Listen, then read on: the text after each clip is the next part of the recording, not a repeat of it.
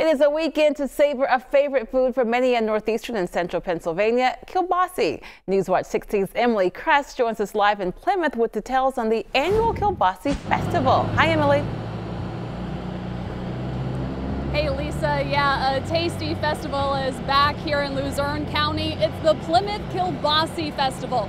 Now the streets are packed right now with people looking to get their kielbasi fixed.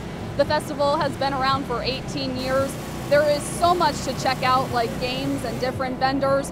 But let's be real, everyone is here for the food. There are so many different stands, but kielbasi is, of course, the star of the show.